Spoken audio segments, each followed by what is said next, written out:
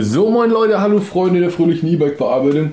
Heute geht es um meinen alten Elmoto Akku ja, ich habe ja ein paar Elmotos, deswegen habe ich natürlich auch ein paar Akkus. Hier habe ich jetzt einen alten Lipo-Akku. Ich weiß nicht, in dem einen Video hattet ihr auf jeden Fall schon mal einen der anderen Akkus gesehen, wo ich das BMS einfach mal abgeklemmt habe. Da muss ich noch mal zu sagen, nein, das darf man natürlich nicht einfach so machen und ihr dürft vor allem nicht damit rumfahren und es nicht aufladen und ihr müsst es immer mit einem BMS betreiben. Das ist total wichtig. Ein Wärmesensor muss dran sein. So, einmal kurz das abgesprochen, sonst heult der Motor nämlich nachher wieder rum. Hier haben wir jetzt noch so einen Akku. Ich weiß, wahrscheinlich werden sie auch wieder rumheulen, aber die Sache ist, es sind im Endeffekt Akkus wie jeder andere. Hier sind zwei Kabel dran, hier sind nochmal drei Kabel dran. Das hier sind die Entladekabel, das sind die Ladekabel, beziehungsweise eigentlich sind es auch nur diese beiden die Ladekabel, weil dieses Kabel im Endeffekt nur das L-Motor ausschaltet während des Ladevorgangs. Gut, kann man haben, muss man nicht. Auf jeden Fall haben wir hier einen 48 Volt Akku mit 24 Ampere-Stunden. Gut, was wollen wir hier denn reinbauen? Hm, da sind ja jetzt Lipos drin. Da kommen einfach nachher 18650er Zellen rein. Okay, dann wollen wir doch vielleicht mal mit dem Umbau beginnen. Was brauchen wir denn alles dafür? So, jetzt haben wir hier einmal ein 13S 100 Ampere BMS mit Wärmesensoren, ganz wichtig. Und dann haben wir hier nochmal eine äh, Bluetooth-Programmierschnittstelle, beziehungsweise damit kann man sich auch die kompletten Werte während des Fahrens angucken, damit man natürlich nachher auch noch schön die Akkuanzeige hat, beziehungsweise eine extra Akkuanzeige. Ja, was haben wir denn hier noch Schönes? Dieses 100 Ampere BMS. Seht ihr es von der Größe her, müsste da auf jeden Fall ohne Probleme reinpassen. Hier haben wir nochmal das Kabel, um die einzelnen äh, Bänke anzuschließen. Hier haben wir erstmal einige Zellen also der Akku wird nachher ein 13x12S. Das heißt, wir haben 13 serielle Zellen und 13 parallele Zellen. Wie ihr seht, hier sind ein Haufen solcher 18650er drin. Würde ich sagen, fangen wir mal an. So, gleichzeitig soll natürlich dieses Video auch ein bisschen immer für euch als Anleitung dienen.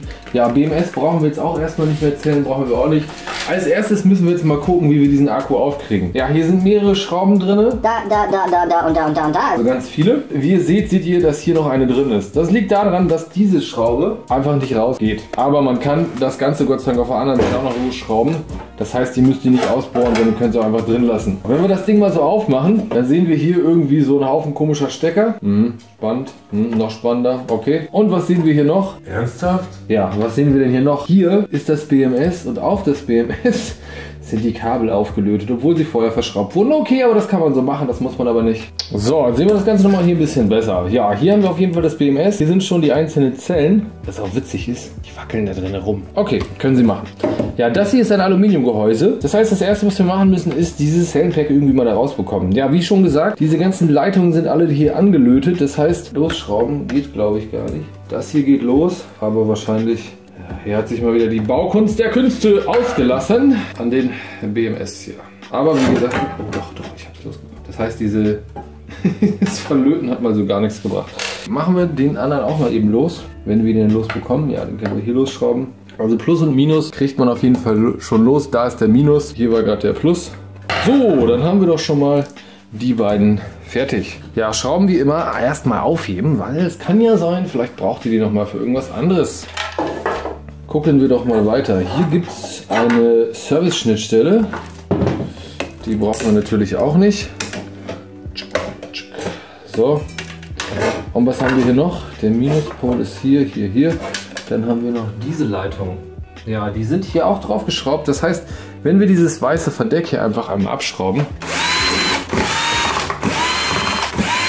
Zap, zap, zap. Haben die jetzt Überblick auf das komplette BMS? Wunderbar, oder? Sehen wir das mal hier. Sind auch ein Haufen Wärmesensoren drin. Die Sache ist, ich weiß noch nicht mal, ob dieses BMS vielleicht sogar noch gut ist hier. Deswegen, ich will das auf jeden Fall nicht kaputt machen. Das könnte man nämlich, denke ich, nochmal benutzen. Gehe ich jetzt schon mal stark von aus. Machen wir doch mal weiter. Wir haben das BMS. Wir wollen diese Leitungen Plus und Minus hier nochmal loswerden, damit wir gleich, beziehungsweise diesen hier auch noch. Ich kann mir die auch einfach hier irgendwie so abziehen. Ah, okay, ganz einfach. Einfach dran ziehen. So, dann haben wir das Ganze jetzt schon mal draußen. Jo, als nächstes haben wir hier noch das Minuskabel und das Pluskabel. Oder das das Minuskabel und das das Pluskabel. Oder das das Pluskabel und das das Minuskabel. Leute, warum bitteschön macht ihr zwei gleiche Farben? Das ist doch totale Scheiße. Jetzt muss ich erstmal messen. Was ist jetzt Plus, was ist Minus? Ich meine jetzt nur rein einfach auf Interesse. Schönes Multimeter, Flucke. Wunderbar, kann ich nur empfehlen. Und, öpp. Ach nee, hier. Ah, das heißt, dieser ist Plus, dieser ist Minus. Warum kann man nicht einfach rote Kabel dafür nehmen? 52 Volt haben wir hier noch. Alles klar. Ich muss dazu sagen, dieses Zellenpack hält leider nicht mehr so lange. Da sind gerade mal noch 10 bis 12 Kilometer mit drin. Das heißt, das ist auch schon ziemlich durch. Jetzt ist natürlich dieses Beam jetzt hier locker. Jetzt wollte ich gerne mal gucken, ob wir nicht das Ganze einfach schon mal umdrehen können, damit wir das rausschieben können. Ja, das ist soweit erstmal okay. Oh, dann drehen wir diesen ganzen Kasten einmal um.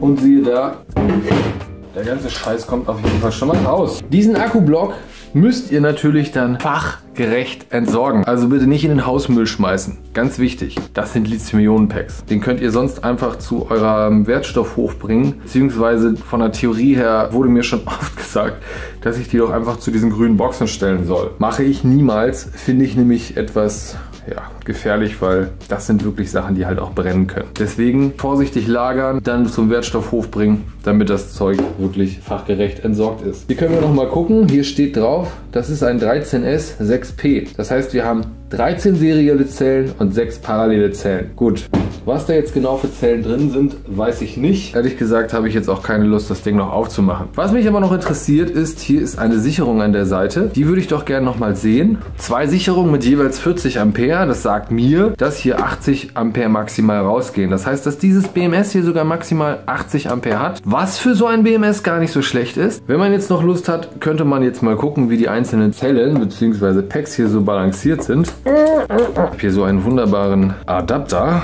Ja, now. Muss nur kurz überlegen, wie rum und wo ich anfange. Da seht ihr, die Reihen sind soweit auch alle gut. Haben alle mindestens 4,2, also beziehungsweise sind eigentlich alle auf dem gleichen Pegel. Sonst würden nämlich diese einzelnen Dinger jetzt auch anfangen zu blinken und sich unterschiedlich entladen. Es ist so ein kleines Mini-Balancer-Modul. Sieht also gar nicht so schlecht aus. Das Ding können wir erstmal wegstellen, das brauchen wir jetzt nicht mehr. So, hier seht ihr jetzt nochmal den Akku von innen.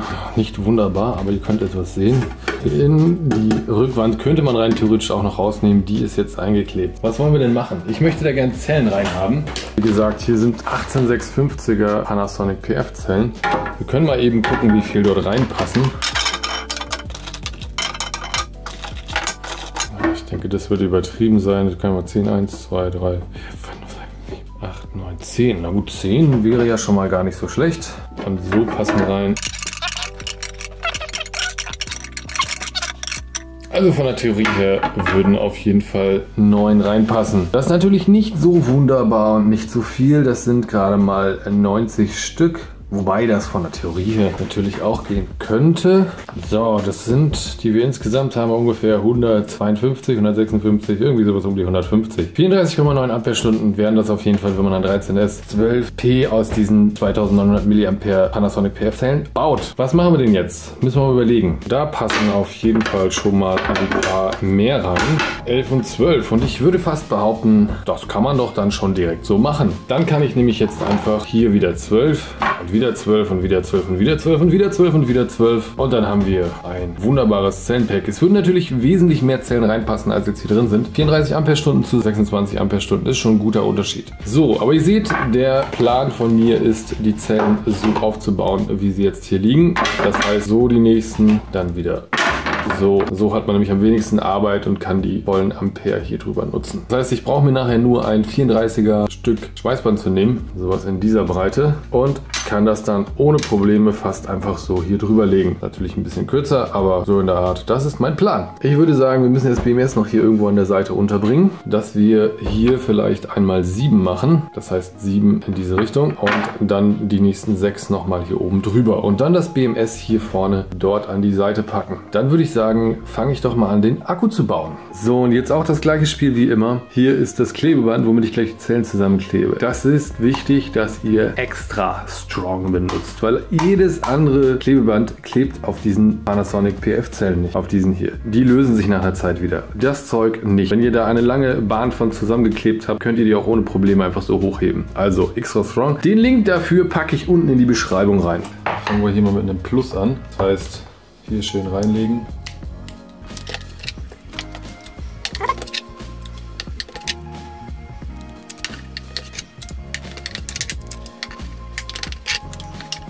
So, oben drüber dann den Minuspol.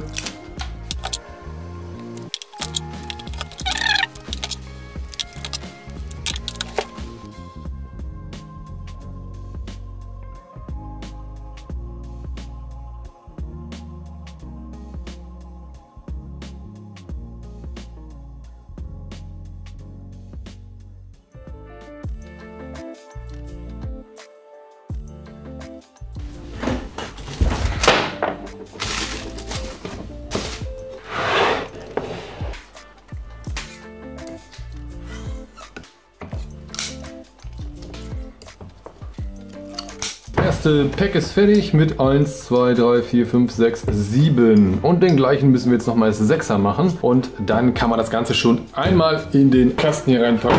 Wenn wir das Ganze jetzt einmal hier reinstellen, können wir sehen, okay, das passt auf jeden Fall sehr gut da rein. Hier ist noch genug Platz, links und rechts für Isolierung. Und das heißt, wir können das BMS wahrscheinlich sogar nachher einfach oben drauf packen oder so. Aber das werde ich nachher sehen, wenn beide Packs auf jeden Fall fertig sind. So, dann machen wir jetzt schon mal das zweite.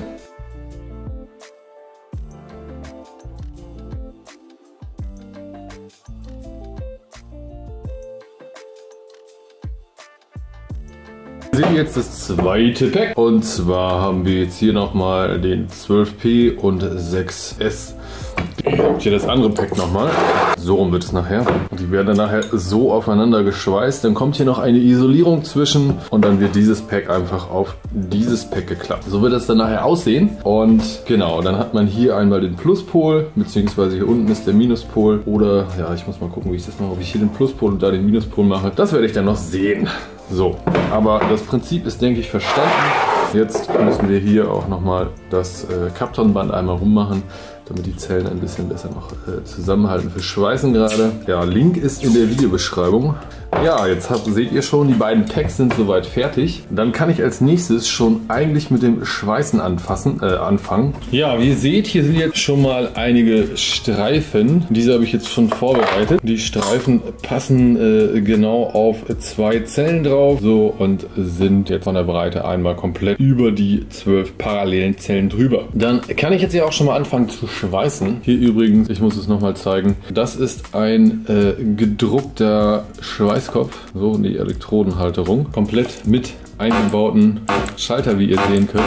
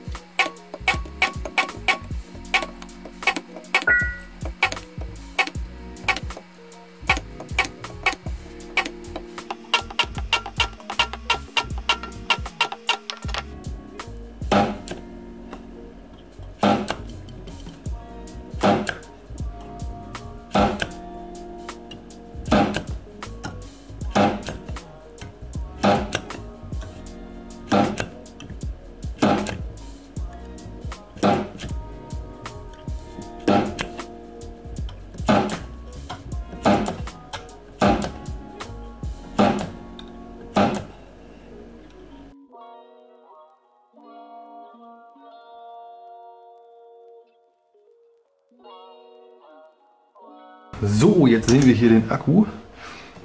Ihr seht, hier ist die letzte Schweißbahn drauf. Hier habe ich zwei solche Platten dazwischen gepackt, damit das Ganze vom Abstand sozusagen auseinandergehalten wird. Ihr seht, jetzt sind diese beiden Packs sozusagen hier verbunden. Das heißt, ich klappe jetzt gleich das eine auf das andere, damit sozusagen ich das dann nachher schweißen kann. Ja, was als nächstes jetzt erstmal passiert, ist, äh, dass hier noch der Pluspol dran muss. Ähm, das heißt, ich werde hier noch eine Bahn drauf schweißen mit einem roten Kabel drin und klappe das Ganze dann nach unten. So, jetzt sind hier noch ein paar Isolierungen drauf gekommen. Ja, dann als letztes nochmal hier das Isolierpapier, was dann hier unten einmal so rumkommt. Damit, wenn der Pluspol hier gleich drauf ist, wird das Ganze einmal umgeklappt nach unten und fixiert. Und um da sozusagen noch ein bisschen zu isolieren, kommt hier jetzt noch einmal dieses Isolierpapier dran.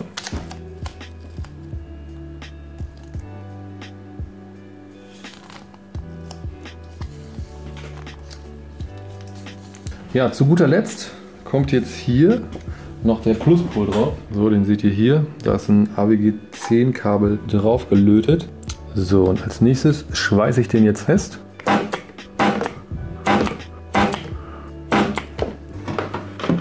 So, jetzt einmal fixiert. Natürlich kommen noch mehr Schweißpunkte drauf. Wie gesagt, wenn es jetzt gleich fertig ist, wird das Ganze runtergeklappt. Noch fehlt sind hier diese Dinger, die ich hier schon hier unten dran habe, womit man nachher die Balancerkabel anlötet. Ganze noch auf der anderen Seite.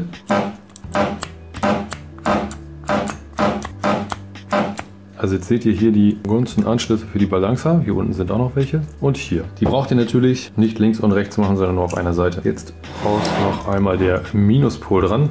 Und da nehme ich auch wieder so eine AWG-10-Leitung. So, jetzt haben wir hier noch den Minuspol. Das ist der letzte, der jetzt drauf muss. Den haben wir hier.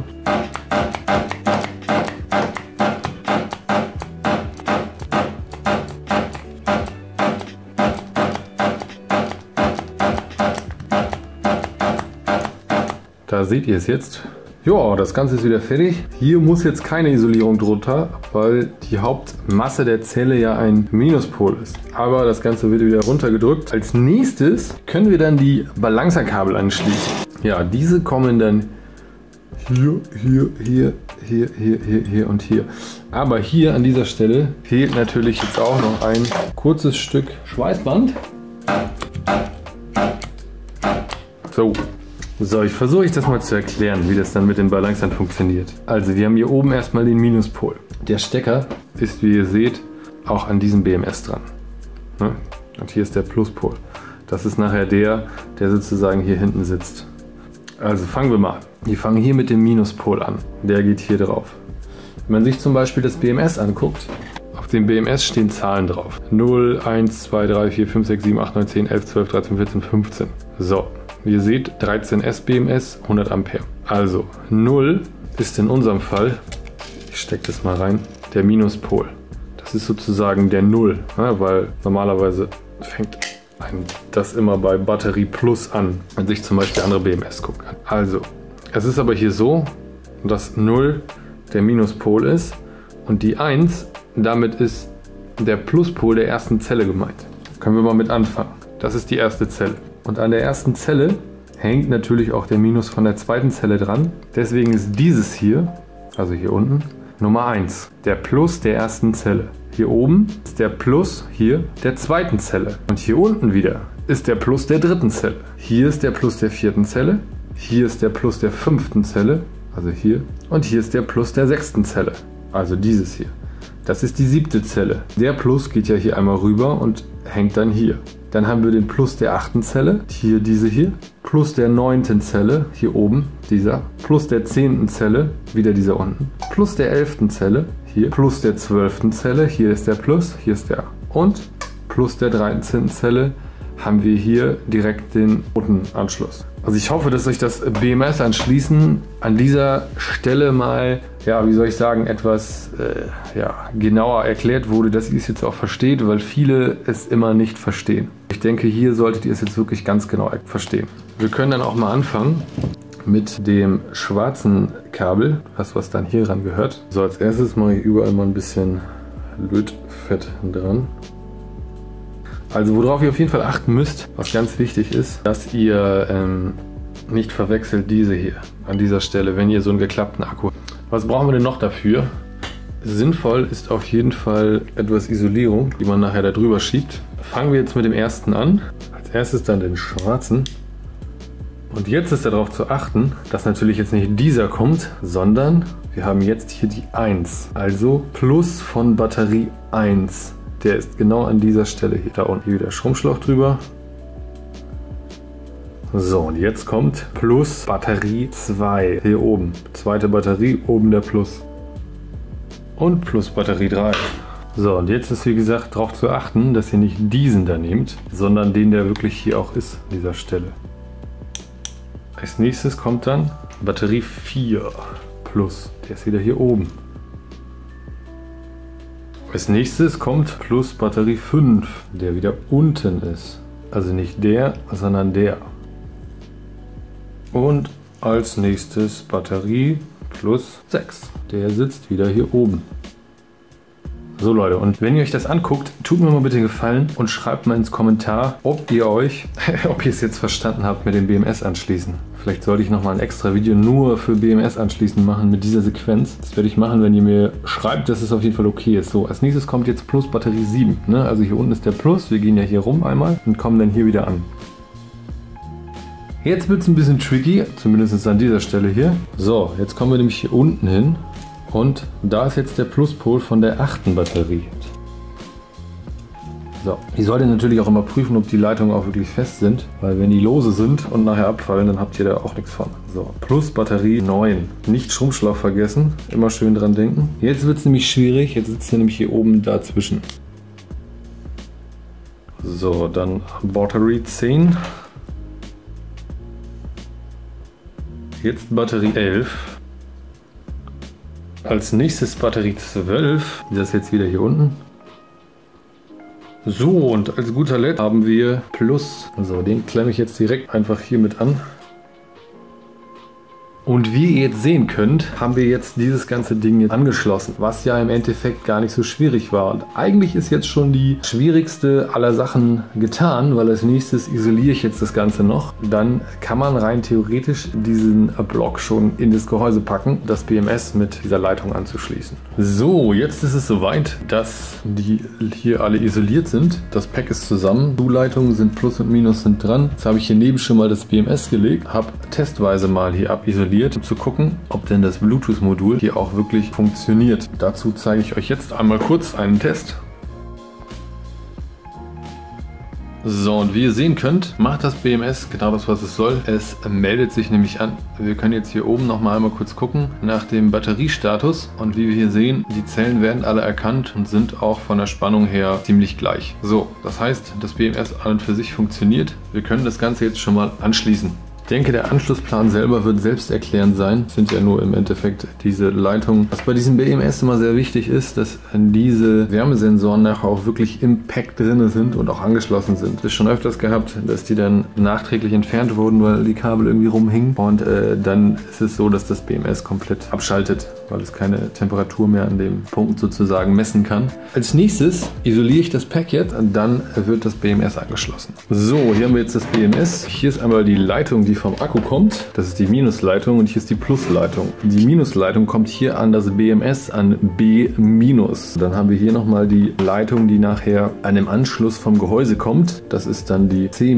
So, das ist gleichzeitig Laden und Entladen. Das heißt, von der Theorie her könnte das El-Moto dann nachher sogar Rekuperation machen. Das heißt, dass man über die Bremswirkung wieder auflädt. Ja, kann das momentan noch nicht, außer wenn man natürlich den Controller tauschen würde. Das nächste ist äh, dieses Kabel. Das wird dann hier an den großen Anschluss angeschlossen. Der schwarze ist immer außen, das ist ganz wichtig. Zum Schluss haben wir dann hier noch das Bluetooth-Modul. Das hatte ich euch ja vorhin schon mal gezeigt. Ihr habt gesehen, es hat auch gerade einmal kurz blau aufgeleuchtet. Das heißt, es funktioniert soweit alles. Als nächstes verschwindet das BMS jetzt gleich hier im Gehäuse drin. Das heißt, hier haben wir einmal das BMS. Ihr seht, die Leitungen gehen hier jetzt auch rein. Die lassen wir nachher noch ein bisschen verschwinden. Ja, dieses hier klebe ich nachher direkt sozusagen unter den Deckel, damit man auf jeden Fall immer einen guten Empfang hat. Ja, das Bluetooth-Modul, das klebe ich hier unten an die Seite, damit sozusagen der Empfang direkt immer hier schön rausgehen kann.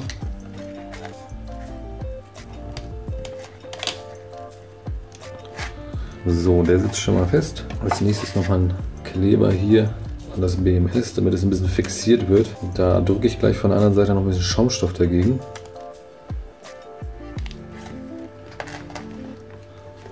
So, ja, was dann jetzt noch kommt, sind diese Sensoren. Und die verschwinden jetzt gleich einmal hier und einmal beziehungsweise auf der anderen Seite. Mal gucken, dass wir den hier verschwinden lassen, den anderen vielleicht hier oben. Also seht ihr, hier kommt der Sensor jetzt rein. Damit kann auf jeden Fall gewährleistet werden, dass hier oben in diesem Pack die Wärme gemessen wird und hier unten auch einmal. So, hier kommt jetzt noch ein Stück Schaumstoff rein. Ganze ist somit fixiert und kann dann nachher sich auch nicht mehr bewegen. Und dann einmal hier Kabel noch verschwinden lassen. Ja, zu guter Letzt brauchen wir natürlich jetzt von dieser Seite auch noch ein bisschen Schaumstoff da rein, damit das Ganze sozusagen nochmal so auf jeden Fall hält und auch nachher der Akku nicht mehr so verrutscht. Dafür mache ich jetzt hier nochmal ein paar von diesen großen Stücken rein. Zu guter Letzt müssen wir jetzt hier das Kabel, was aus dem Akku kommt, nochmal kürzen und müssen an das Kabel dann nochmal einen Kabelspann klemmen. So, hier haben wir mal das Kabel, weil die Minusleitung die wird einmal abisoliert, dann das Kabel in den Kabel einführen. Dann brauchen wir eine Presse.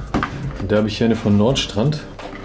Wie ihr seht, da brauche ich jetzt 10 Quadratpressen. Die Backen liegen hier schon direkt bereit. Das ist hier einmal die PWTHC29. Der Link ist auf jeden Fall wieder in der Beschreibung. Okay, wir brauchen Achterbacken. So, dann sieht es nachher so wunderschön aus. Wer will, kann natürlich jetzt hier das Ganze nochmal verlöten, aber bei dem Anpressdruck ist es normalerweise nicht nötig. Genau das gleiche machen wir mit, dem, mit der Plusleitung auch noch einmal. So, als Vorsichtsmaßnahme kommt jetzt hier erstmal ein Stück Stromschlauch drüber über den Minuspol. Nicht, dass man jetzt hier sich versehentlich gleich irgendwie einen Kurzschluss verursacht. So, hier sieht es auch wieder genauso aus.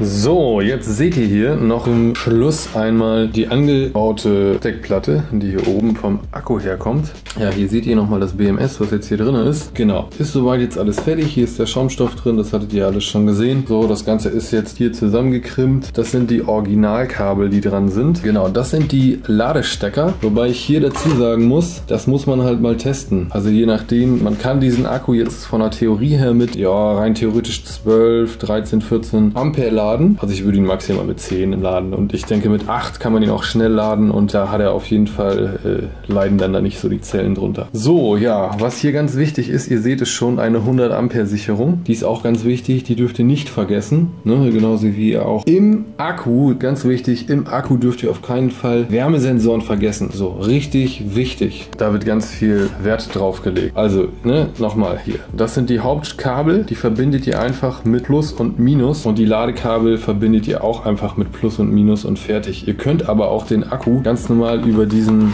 ähm, Powerpult-Stecker hier laden. Ne? Müsst es dann nicht über diesen machen. Der lilane, der bleibt einfach frei. Das ist normalerweise eine Sperre für äh, das L-Moto, dass man während des Ladevorgangs nicht losfahren kann. Das hat man dann einfach in dem Moment nicht. So wie das L-Moto ja auch keine Wegfahrsperre für einen Ständer hat, was normalerweise jeder Roller oder jedes Motorrad hat. Aber gut, das hat das L-Moto nicht, deswegen lassen wir das jetzt hier auch einfach weg. Ich würde fast sagen, das war es jetzt von dem Video, weil die Kiste zumachen. Das kriegt ihr auch noch ohne mich hin. Genau, ich hoffe, euch hat dieses Video gefallen, äh, dass es vor allen Dingen für euch hilfreich war, weil ich nämlich weiß, dass es für das Elmoto ziemlich schwierig ist, Akkus zu bekommen. Deswegen habe ich dieses Video eigentlich auch mal gemacht, damit ihr seht, dass es überhaupt möglich ist, dass man das macht. Das war eigentlich meine Intention daraus, dass also eine Reparatur halt geht. Genau, wenn euch das Video gefallen hat, gebt mir bitte einen Daumen hoch, schreibt mir einen Kommentar, wenn euch das Video gefallen hat, wenn es euch nicht gefallen hat, wenn ihr Anregungen habt oder sonst irgendwas, schreibt bitte Kommentare. Jahre. Ganz wichtig. Ihr könnt das Video natürlich auch irgendwo teilen. Wenn ihr mal seht, dass irgendjemand ein Problem mit einem L-Motor-Akku hat, könnt ihr das Video gerne teilen. So, meine Freunde, das war's jetzt und ich würde sagen, haut rein, bis nächstes Mal. Ciao.